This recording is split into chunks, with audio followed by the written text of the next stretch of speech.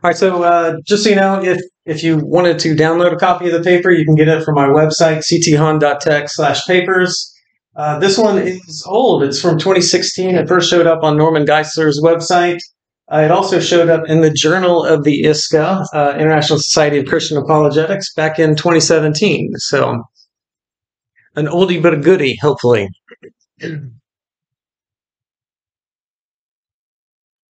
All right, so Marx and Engels in the Communist Manifesto say a specter is haunting Europe, the specter of communism.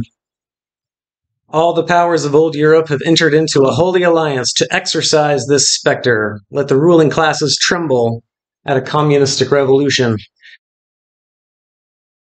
And there's a few James Bond movies where they make the bad guys uh, into Spectre. That's the name of their uh, conspiracy theory organization.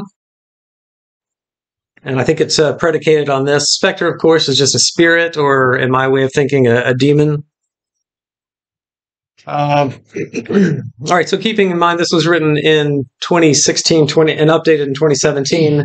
This year, 2017, marks the 100 year anniversary of the time that Marx's Spectre possessed the Bolsheviks to bring bloody revolution to, to Russia.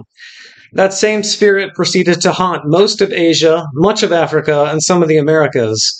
Revolutionary Marxism still holds the record for having deceived, enslaved, terrorized, imprisoned, tortured, and murdered more millions of people than any other ideology in human history. The Leninist and Maoist interpreters of Karl Marx sacrificed over 160 million civilians on the altar of global equality. And that's the conservative estimate. But the Marxist attempts to create their vision of heaven on a godless earth produced such unsustainable conditions that every large experiment in Marxism collapsed towards the end of the 20th century. Contrary to the popular assumption, however, Marx's specter was never truly exorcised from the world. Borrowing from one of Jesus' analogies, if it departed at all, it did so only to return soon after to its old haunts with seven other spirits like it. And this is uh, from Matthew 12. When an unclean spirit has gone out of a person, uh, skipping a bit, it it, uh, it goes and it brings with it seven other spirits more evil than itself. They enter and dwell there, and so the last state of that person is worse than the first. So it shall be with this generation course, uh, Jesus is talking about that generation of Judeans who uh, rejected his uh, messiahship.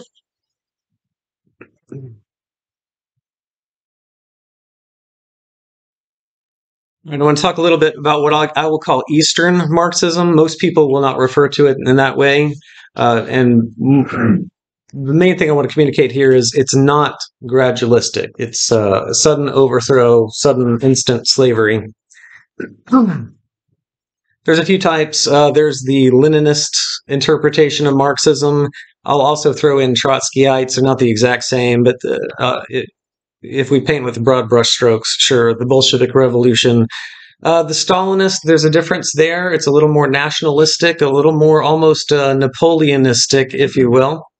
There's the Maoist implementation in China, and of course, uh, Pol Pot in Cambodia. So those are the Easterns. I'm, I'm going to talk a little bit about them.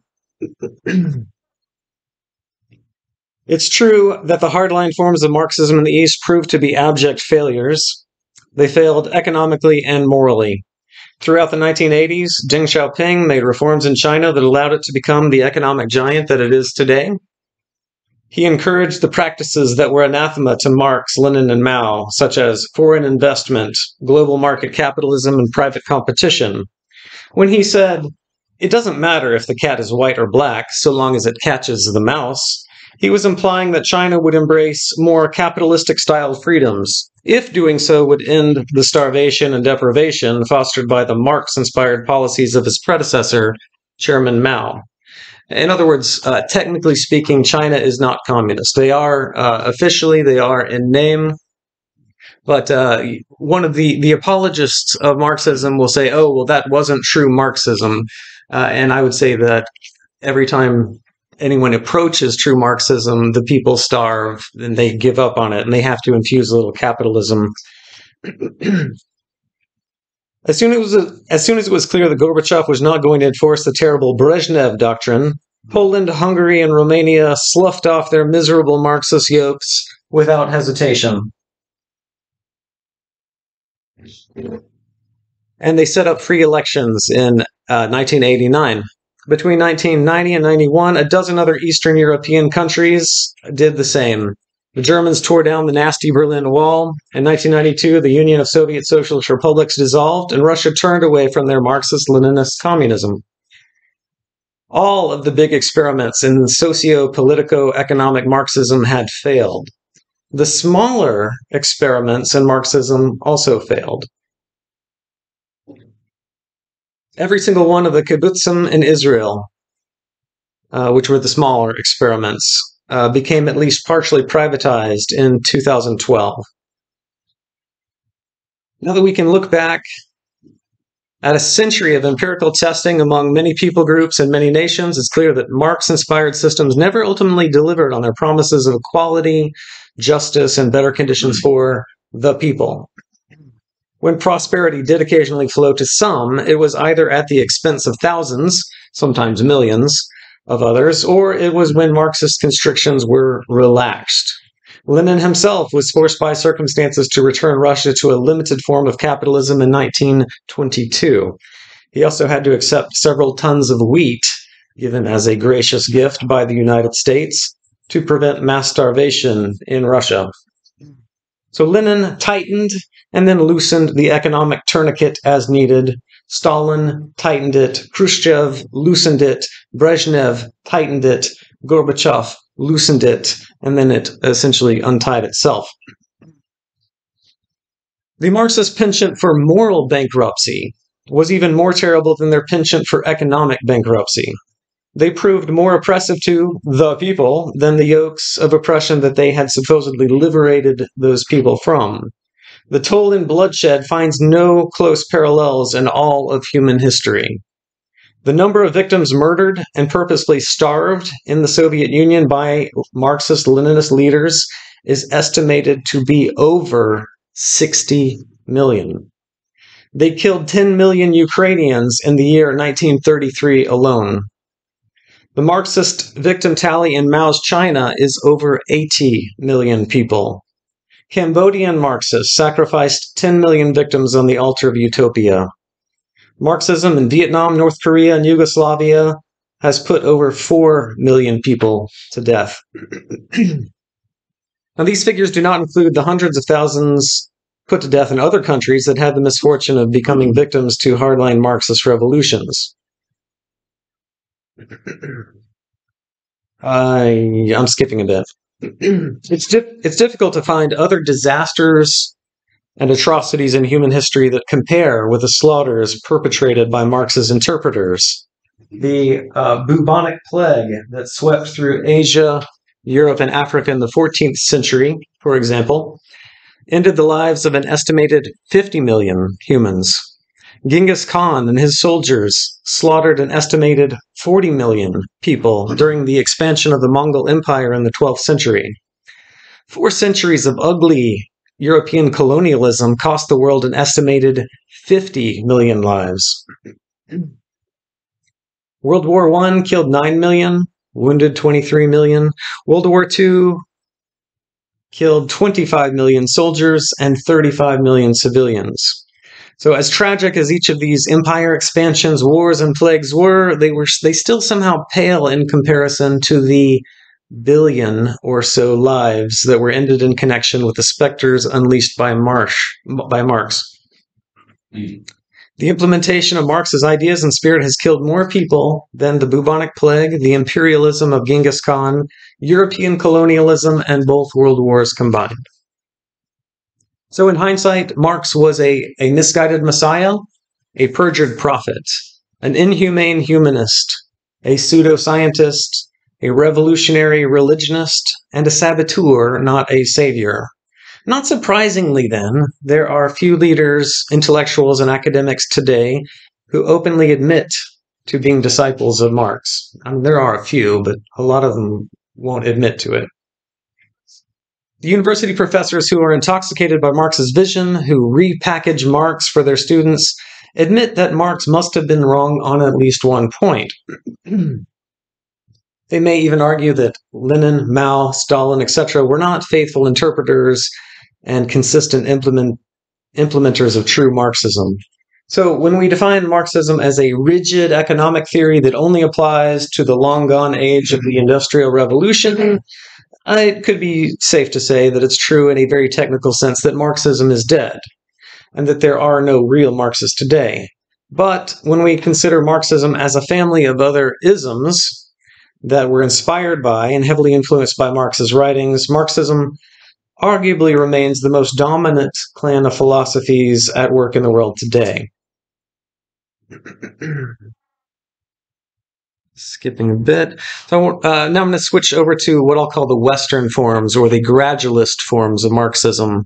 And uh, these are most of the specters that I will mention. I'll hit each one of these one at a time.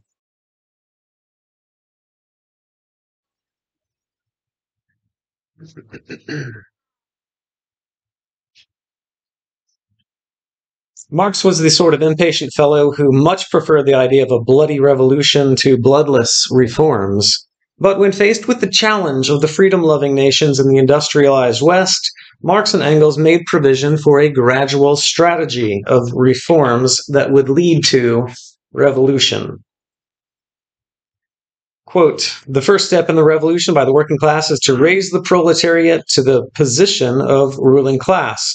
Of course, in the beginning, this cannot be effected except by means of despotic inroads on the rights of property. Klaus Schwab saying, You will own nothing and you will be happy recently. And on the conditions of the bourgeois production, these measures will, of course, be different in different countries. In other words, it's not a one size fits all sort of thing. He knows it's going to have to be different in Germany. The revolution will be done differently in Germany, the United Kingdom, United States, uh, the industrialized nations. Nevertheless, in the most advanced countries, the following will be pretty generally acceptable, and he lays out the terms. So they realized that the despotic measures of revolution that would be effective later in the war torn, pre industrialized countries such as Russia, China, Korea, Vietnam, Angola, Afghanistan, etc., would not be likely to work out as well as they would in the most advanced countries the countries that had already industrialized and were enjoying the prosperity that came from it. Professor Ebenstein suggested that Marx, quote, occasionally referred to England and the United States as two possible exceptions to the principle of social change through communist uh, revolution and dictatorship. So here it becomes helpful to divide Marxism roughly into Eastern and Western implementations. For the advanced countries in the West, Marx and Engels recommended 10 planks for revolutionaries to use as waypoints in a grad- gradual revolution. These steps include the abolition of property, a heavy income tax, the abolition of the right of inheritance, the death tax. That started with Marx.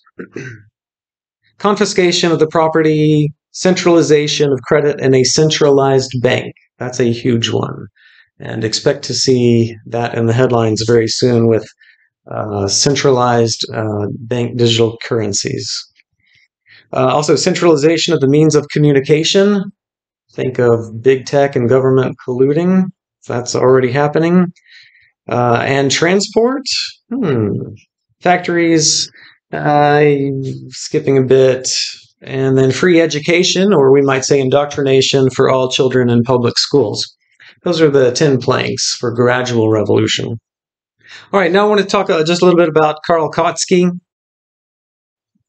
The first gradualist approach to Marxism was developed by Karl Kautsky. Kautsky met personally with Marx and Engels more than once.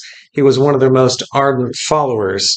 On some matters, he diverged from them and became the leading theoretician of what would be called evolutionary democratic socialism. Lenin lambasted Kautsky for his rejection of some of Marxism's nastier features, such as impatient and bloody revolution, unwillingness to compromise, and the dictator of the uh, industrial working class. Kautsky's socialism has since influenced or even dominated the policy of the majority of nations around the world. Um, whereas the countries that became venom, uh, victims of Leninist and Maoist interpretations of Marxism have been hobbling away from Marxism, the nations of Western Europe, North America, South America, Australia, etc., uh, have become increasingly influenced by Marxism through this third way that synthesizes elements of capitalism, socialism, freedom, and social controls together. So this was an actual headline not too many years ago in News Newsweek. I would say Kautsky has a lot to do with that. Um, and it's not an either or situation. It's not capitalist or communist or socialist. It's a it's a mixture of all of that. Throw in Keynesianism. It, it's it's just a, a ratio, different ratios in different places is how I would say it. All right, Fabian Society. You can see this. This is hard to see. This actual stained glass window in uh, one of their the Fabian uh, buildings in Great Britain. You can see there's a a, a, a, wolf dressed in sheep's clothing. That was their choice. I think uh, that might be George Bernard Shaw. This might be Sidney Webb. Uh, you know, mainstays of what I was reading in public schools back in the 70s. Um, so the Fabian Society. Soon after Marx died, another Western interpretation of Marxism began to flourish in England and in New England. The Fabian Society named themselves after Fabius Maximus, a Roman general whom military historians recognize as the father of guerrilla warfare. In the Second Punic War, General Fabius prudently refused to send his soldiers to meet Hannibal's superior forces on the open battlefield in direct combat. Instead, he practiced a patient and cautious strategy of hit and run warfare, ambushes, constant harassment, and ultimately a war of attrition. Inspired by this form of warfare, the motto of the Fabian socialists were For the right moment you must wait, as Fabius did patiently when warring against Hannibal, Though many censured his delays, when the right moment comes, you must strike hard, as Fabius did, or your waiting will be in vain and fruitless. The historian Plutarch wrote that Fabius's tactics were slow, silent, and yet relentless in their steady pressure.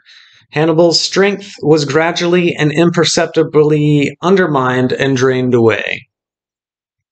Although the Fabian Marxists remained revolutionaries in the spirit of Marx, they differed from Marx on at least three important points. First, they differed on the matter of by whom and to whom.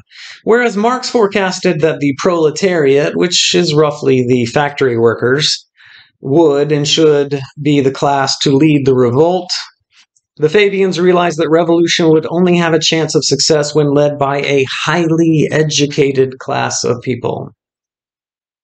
George Bernard Shaw, one of the better known Fabians, wrote Marx's Capital is not a treatise on socialism. It's a jeremiad against the bourgeoisie. It was supposed to be written for the working class. But the working man respects the bourgeoisie and wants to be bourgeoisie. Marx, Marx never got a hold of him for a moment. It was the revolting sons of the bourgeoisie itself, like myself, that painted the flag red. The middle and upper classes are the mm-hmm. revolutionary element in society. The proletariat is the conservative element. So Shaw makes an interesting point. Neither Marx nor Engels were products of the working class. Marx was actually the son of a lawyer. Engels' father owned considerable amounts of property. Lenin came from a wealthy family. The working class rarely produces the intellectuals and the poets whose pens are mighty enough to inflame hearts and unsheath swords. Shaw was also prescient here. It would be the young and gullible students, boys and girls who had never had to work with their own hands to feed their families, who would be the most susceptible to believing revolu- revolutionary propaganda.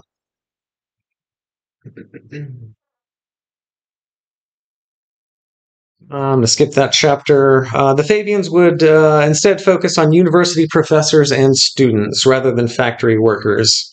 They would indoctrinate their agents of change through schooling and scholarship. In the words of one of its founders, the Fabian Society was, quote, founded in 1884 as an educational and propagandist center. It furnishes lectures in considerable numbers to all meetings where socialism, in any guise whatsoever, can possibly be introduced. As of 1885, their motto was educate, agitate, organize. That's educate, agitate, organize. Sound sound familiar today? uh, by starting with an intellectual revolution in the minds of academics, the revolution would naturally bleed over to all other arenas of public policy and public opinion. Unable at first to uh, infiltrate the universities of Oxford and Cambridge, the Fabians established the London School of Economics. They started that. They would also create the Labour Party, in the United Kingdom. They would publish journals, establish beachheads in several influential American universities. Meanwhile, some of their foremost members would also continue to spread propaganda in favor of the Eastern or Marxist Leninist uh, state throughout the 1930s. All right, I'm skipping the section on humanism and I'm going on to Antonio Gramsci. By perceiving one of its greatest obstacles to adoption and devising strategies to overcome it, Antonio Gramsci may be the greatest interpreter of Karl Marx. A member of the Italian Socialist Party in 1913, founder of the Italian Communist Party in 1921, Gramsci fled to Lenin's Soviet Socialist Republic, to Russia, under threat of the rise of Italian fascism. But experiencing life in Russia made it obvious to him that the revolution that Marx had predicted still hadn't occurred, certainly not naturally. It was forced to occur. Life there in Russia also made it clear to him that the workers' paradise was maintained by propaganda, by lies, by secret police, and by fear.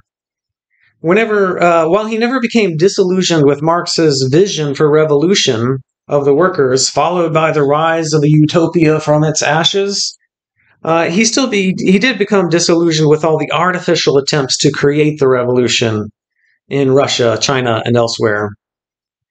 Uh, now, afraid, but then while he's in Stalin's Russia, afraid of the insanity and cruelty that Stalin had a reputation for, Gramsci returned to Italy to take his chances among the less frightening fascists. During nine years in an Italian prison, he managed to cobble together nine volumes of writings that could help achieve a Marxist world. The Roman Catholic historian Malachi Martin summarizes this is going to be a long quote, but I think it will not be a waste of time. he says Gramsci, intellectually a product of the Roman Catholic Society of Italy, was far more advanced than either Marx or Hegel in his understanding of Christian metaphysics in general, or Thomism in particular, and of just the richness of the Roman Catholic heritage. What was essential, insisted Gramsci, was to Marxize the inner man. Only when that was done could you successfully dangle the utopia of the worker's paradise before his eyes.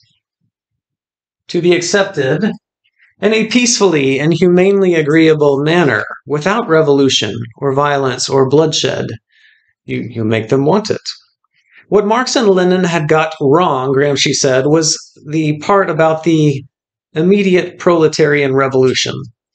Now, his Italian socialist brothers could see as well, just as he did, that in a country such as Italy, or Spain, or France, Belgium, Austria, Latin America for that matter. The national tradition of all the classes was virtually consubstantial with Roman Catholicism. The idea of a proletarian revolution in such a climate was impractical at best and could be counterproductive at worst. Gramsci had a better way, a subtler blueprint for Marxist victory. Use Lenin's geopolitical structure not to conquer streets and cities, argued Gramsci. Use it to conquer the mind of civil society. Use it to acquire a Marxist hegemony over the minds of the populations that must be won. They must join in whatever liberating causes might come to the fore. Marxists must join with women. with the poor, with those who find certain civil laws oppressive. They must enter into every civil, cultural, and political activity in every nation, patiently, patiently leavening them like yeast in a loaf of bread. Uh, if there was any true superstructure that had to be eliminated, it was the Christianity that had created and still pervaded Western culture in all of its forms, activities, and expressions. Marxist ac- action must be unitary against what he saw as the failing remnant of Christianity. By a unitary attack, Gramsci meant that Marxists must change the residually Christian mind. He needed to alter that mind to turn it into its opposite in all details. So, not that it would just merely become a non Christian mind, but that it would become an anti Christian mind. Uh, other Marxists were saying similar things. Christian Rakovsky, a leader in Trotsky's blend of global Marxism, for example, reportedly said, Communism cannot be the victor if it will have suppressed the still living Christianity.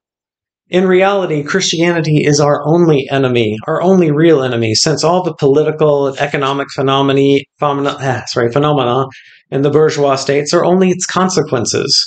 Christianity, controlling the individual, is capable of annulling the revolutionary projection of the natural Soviet or atheistic state by choking it. And as we see in Russia, things have reached a point of the creation of that spiritual nihilism which is dominant in the ruling masses, which have nevertheless remained Christian. This obstacle has not yet been removed during 20 years of Marxism in Russia uh, the Eastern Orthodox Church was not totally co opted or not totally conquered. All right, so this is uh, Herbert Marcuse, who was uh, mentioned last night. Uh, he's one of the, the better known members of the Frankfurt School. Um, let's talk about, well, we'll mainly focus on him.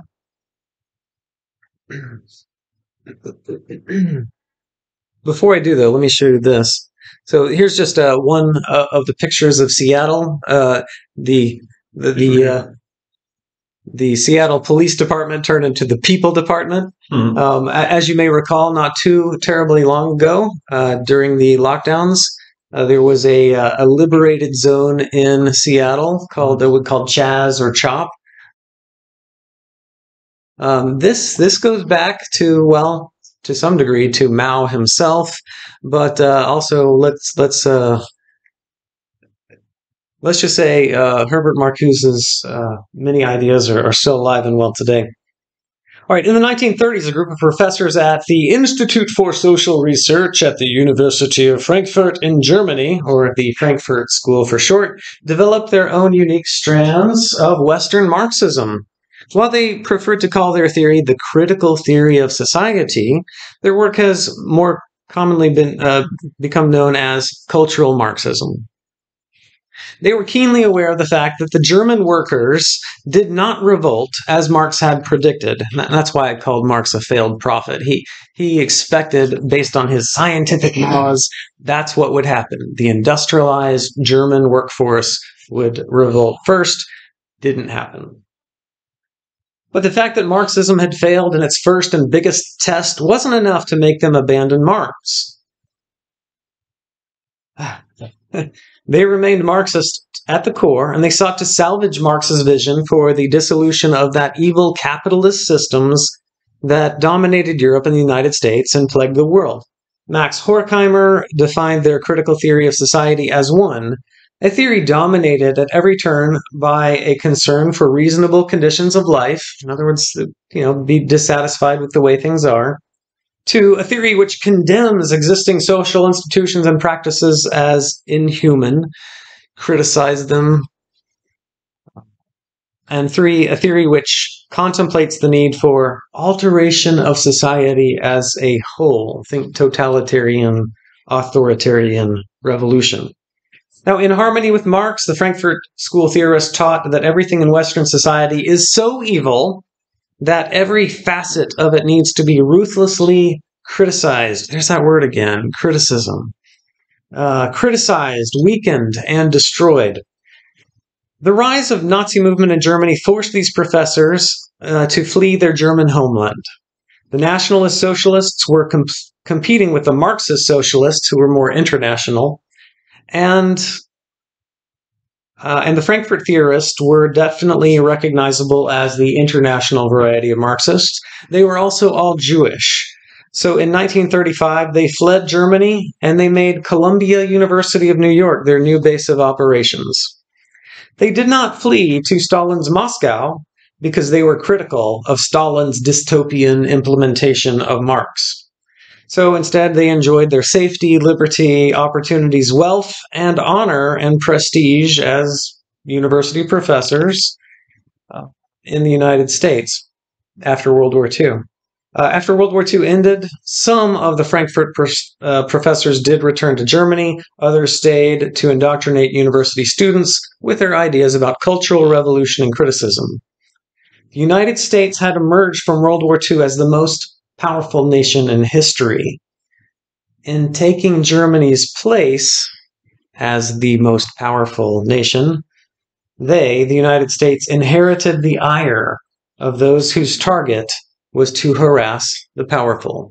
In other words, in the critical theorist minds, the USA after World War II had become the new Nazi Germany. All meanwhile, enjoying all the benefits of living here. Although sympathetic to Marx's war on inequality among socioeconomic classes, these cultural Marxists instead focused on other cultural areas where people groups encounter inequality.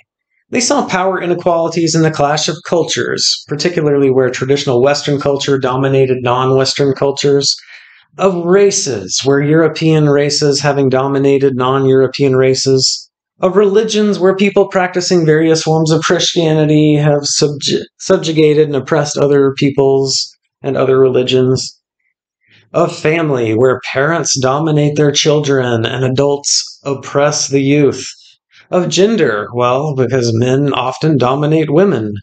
And sexual orientation, where heterosexual heterosexual communities oppress people in LGBTQ categories.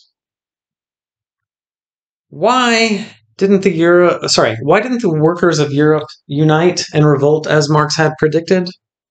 That was one of the main problems these neo-Marxist theorists were also trying to solve. Perhaps Marx had been right about most everything, but had underestimated the grip that the European cultural heritage, chiefly from the Greeks, the Romans, the Celtics, the Celts, the Germans, the Roman Catholic, and also the Protestant Reformation influences, had on the hearts and minds.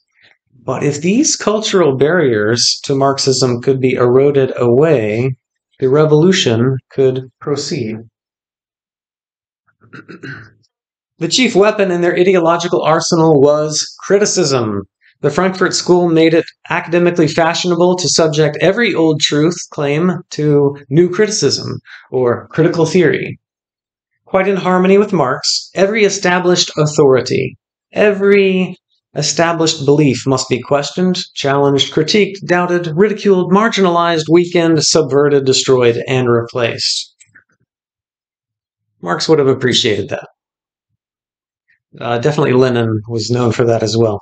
Beginning with criticism, Marx's specter can proceed to liberate all the peoples of the world from the oppression of classical civilization and of Judeo Christian culture. That's where the liberation needs to happen. I'm not saying that. I'm saying they say that.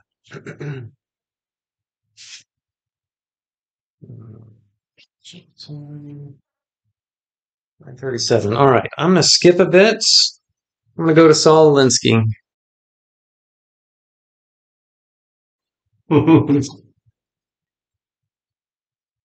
right. Western Marxists sometimes lost patience with the slow pace of progress.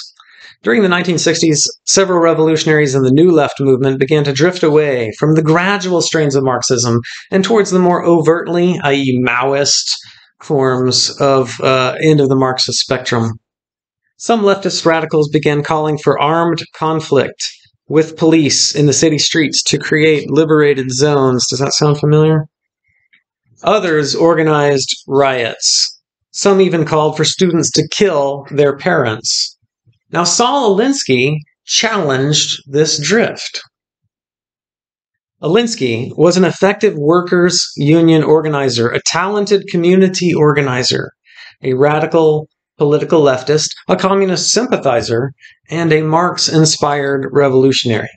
Now, he helped t- turn the tide of the new left away from the violent approach and back to a more gradualist and more subtle approach.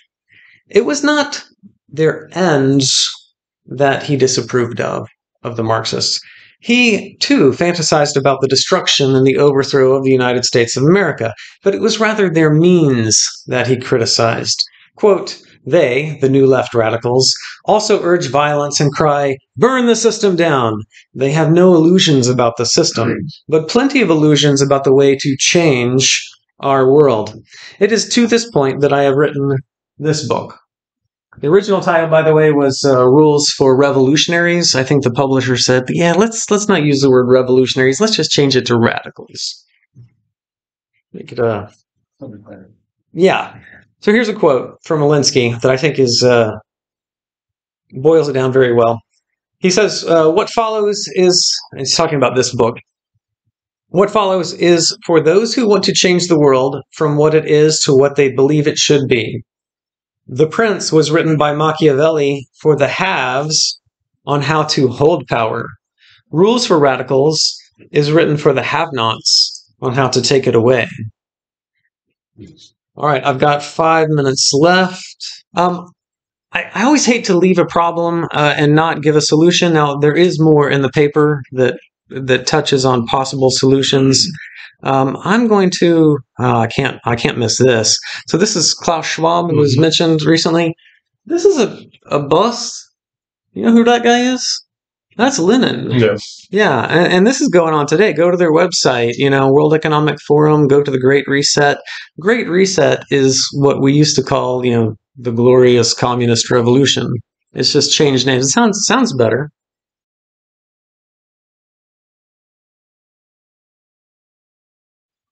I think um, here's here's my prediction. I think in, in the uh, at least here in the Western world, when we uh, look back to the halcyon days of old and talk about how the revolution happened, we'll probably say something like this: "Well, it happened very gradually, and then all of a sudden, suddenly." Now, uh, I want to end on a on a good tone. This I just learned recently. This is called the Acrocorinth. You can you can barely see. There's uh there's there's walls, there's bastions, there's a fortress on this Acrocorinth. This is uh, uh, uh, the city of Corinth lies in its shadow. And so this is a major fortress that all the Corinthians would have lived in the shadow of. With that in mind, I just want to look at this. This is a great verse for apologists. This is Paul writing to the Corinthians, explaining the ministry of the Apostle Paul and his co workers uh, who, who were not actually apostles. They were just joining him in his apostolic ministry. Says, For though we walk in the flesh, we are not waging war according to the flesh, but we have divine power to destroy strongholds, such as the Acrocorinth. We destroy arguments and every lofty opinion raised against the knowledge of God, take every thought captive to Christ. So I, I want to encourage us. Let's uh, let's seek divine power when we try to understand our enemies, um, the enemies of the faith. Understand their their their uh, insights. Also, I, I want as a scholarly audience, I want I wanted to show these pictures of these guys. Uh, because look, he's got books. All of these guys are writers. You know, the, the pen is mightier than the sword because it's the pen that ultimately uh, gives voice to the words that then unsheath the swords. Um, we all know ideas have consequences, bad ideas have victims. So, next time you are writing something at your keyboard, typing, think about these guys and the effect they've had on the world. They've changed our world. And uh, we, we may be on the on the cusp of feeling the great reset uh, and and greater pain very soon. And uh, so when you're at your keyboard, you may be doing something that's very important. Uh, and I will leave it at that. Thanks for attending. Appreciate it. Thank you.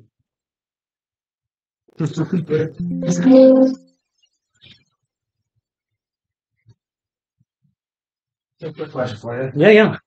Um, have you? I just was some talking about this with a friend, and um, Are there any spare copies of the paper? Uh, did all, did all got copies? two more. Oh, if you want a copy, oh yeah, yeah. Yeah, Thank you. Thank you. yeah. I'm sorry. Uh, No, no, no. So uh, you think about like even in things we talk about critical thinking skills and critical reasoning, and you know, uh, the issue is, well, was there a connection? Uh, you know, etymologically, is there is there, are those actual terms connected with that? And I'm like, well, I don't, I don't think they are. But now I'm after you after last couple years of like thinking about it, I haven't read anything that connects those in terms of like, Yeah. are they? That's my question. Yeah, no, it's a, it's a great question. Um, one of the, the one of the guys mentioned last night, um, Lindsay. Uh, was it James Lindsay? Um, uh, new, new discourses. Yeah. he, he one of his big things is he's putting together an encyclopedia of all the uh, woke terms Yeah. and and how they're redefining everything.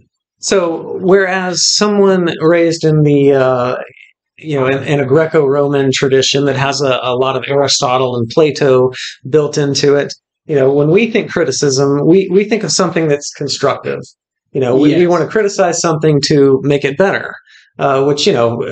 You know, if in my industry, the IT industry, we do that all the time. We we we do something, we self criticize it, we improve it.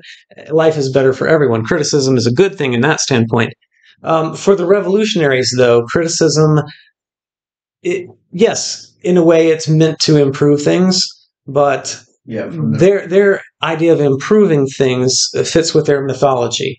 They they believe now they they believe that yes, this world right now that we would consider okay, we all agree it has its flaws, there definitely has room for improvement. Well, they're not interested in improvement. They don't they're not satisfied with reform or improvement. They want absolute total collapse of the system. Yeah. Down, you know, they want it they want to be sand in the machine. They want the machine to conk out, catch on fire, and then magically this wonderful phoenix will arise from the ashes, and you will have a perfect world of perfect equality and perfect justice. I know it's, it's it's crazy, but that's their mythology, that's their religion, that's their eschatology, um, and uh, to some degree, uh, a lot of the early communist thinkers, uh, such as Marx himself, were Jewish.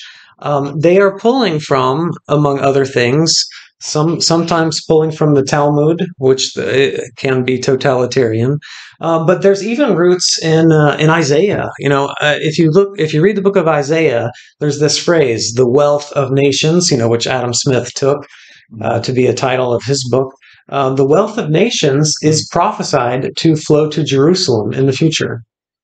Um, so, anyway, um, so, but that, that terminology, like, but have you read anything where in academia is was that Hmm. originally is that is that a term that predates critical theory